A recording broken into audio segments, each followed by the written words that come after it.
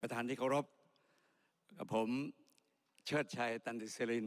สอสอบัญชีรายชื่อพักเพื่อไทยนะครับ วันนี้ได้โอกาสดีนะครับ ที่เห็นรายงานผลการพิจารณาเรื่องข้อเสนอในการส่งเสริมสถาบันพักการเมือง ให้ยึดโยงกับประชาชน ท่านประธานครับ เวลาเราไปหาเสียงเนี่ยกับประชาชนเนี่ยเราก็บอกว่าเนี่ยผมมาขอเสียงจากท่าน เพื่อให้ได้อำนาจรัฐอำนาจรัฐเนี่ยบังเอิญเราปกครองโดยระบอบประชาธิปไตย ต้องเป็นตัวแทนของประชาชน เห็นไหมครับอำนาจรัฐเป็นเรื่องสำคัญขอต้องขอฉันทานุมัติจากประชาชน ไม่เหมือนกับพวกทหารที่รัฐประหารนะครับมันต่างกัน ท่านประชาประธานครับ ประชาธิปไตยเนี่ยเป็นเรื่องสิทธิเสรีภาพ เรื่องการแสดงออกเรื่องศักดิ์ศรีความเป็นมนุษย์ แล้ว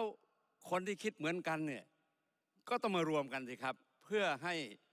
ดูว่าเราจะทำกิจกรรมอันใด ดังนั้นพักการเมืองเป็นเครื่องมือที่สำคัญที่สุด ในระบอบประชาธิปไตยที่จะทำให้ประชาธิปไตยเข้มแข็ง ประชาธิปไตยของเราที่มันล้มลุกคุกคานเนี่ยก็เพราะว่ามันไม่เข้มไม่เข้มแข็งครับ ผมจำได้สมัยเป็นนักศึกษาครับ เราออกมาต้านถนอมประพาส เรายังงงอยู่ว่ามันยึดเขายึดอำนาจได้ยังไง อยู่ในอำนาจตั้งเป็นสิบกว่าปี แค่มีประชาชนไปประท้วง 13 คนก็ถูกจับเห็นไหมครับ ก็เป็นที่ชนวนของการประท้วง 14 ตุลา16 ครับ แล้วบ้านเมืองเป็นไงครับ พอมีประชาธิปไตยก็ดีขึ้น แล้วเราก็ไปปลุกปั่นอีกว่า ไอ้นี่แหละนักการเมืองเข้ามาเนี่ยต้องการอย่างนั้นอย่างนี้จะล้มล้างนั่นล้มล้างนี่ครับ มันก็ไม่จริงครับ ท่านประธานครับ พักการเมืองนอกจากเป็นเครื่องมือที่แล้วนี่ครับ ประชาชนที่เข้ามาร่วมในกิจกรรมนี้ต้องอุดมการตรงกัน ต้องตั้งใจจริง ๆนะครับว่าท่านขออำนาจเข้ามาเนี่ยเพื่อมาบริหารประเทศ ไม่ใช่มาหาผลประโยชน์ด้วย ต้องทำเพื่อประชาชนจริง ๆนะครับ ดังนั้นนะครับพักการเมืองเนี่ยต้องมีนโยบายที่ดีครับ เมื่อกี้ท่านผู้อภิปรายก็พูดแล้วครับ ไม่ใช่ว่าไปใช้วิธีอื่นครับพักการเมืองต้องมีนโยบายที่ดี แล้วถ้าจะดีนี่ต้องมาจากการดูปัญหาที่เกิดขึ้นในประเทศ เพื่อนำไปแก้ไข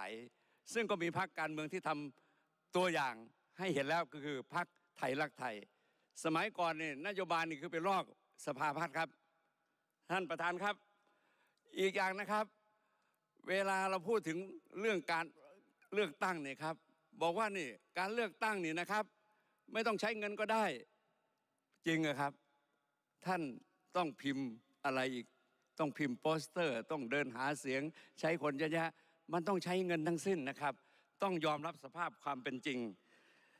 การที่จะให้มีสมาชิก ถ้าไปเก็บเงินมากมายนี่ไม่มีใครสมาสมัครหรอกครับ ต้องควรจะปล่อยเข้าไป ดังนั้นนะครับ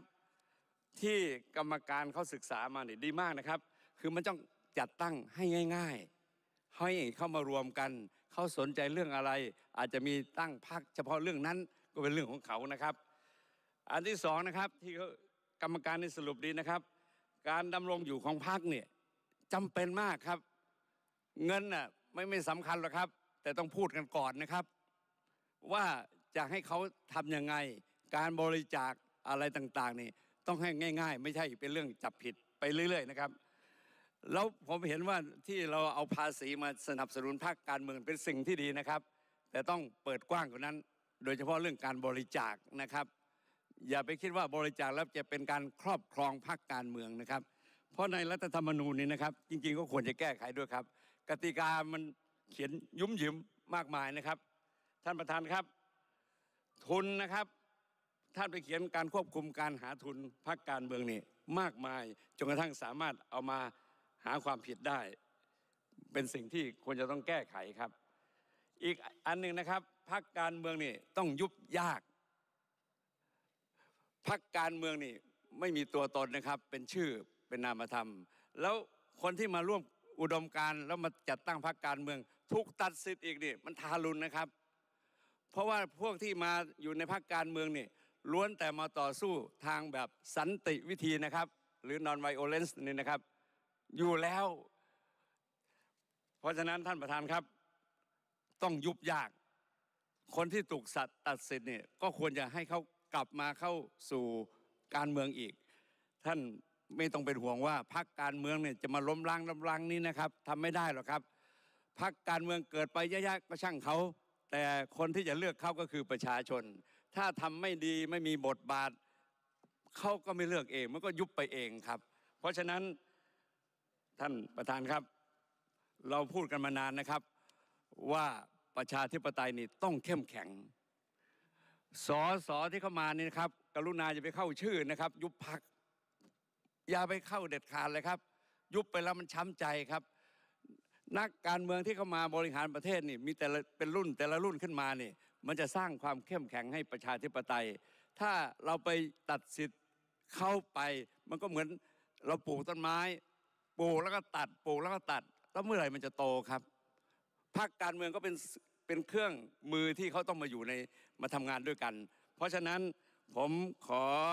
สนับสนุนนะครับ และเต็มที่นะครับ เพื่อให้ประชาธิปไตยของเราเนี่ยมันเข้มแข็งเป็นที่พึ่งของประชาชนทำให้คนที่มีความสามารถเข้ามา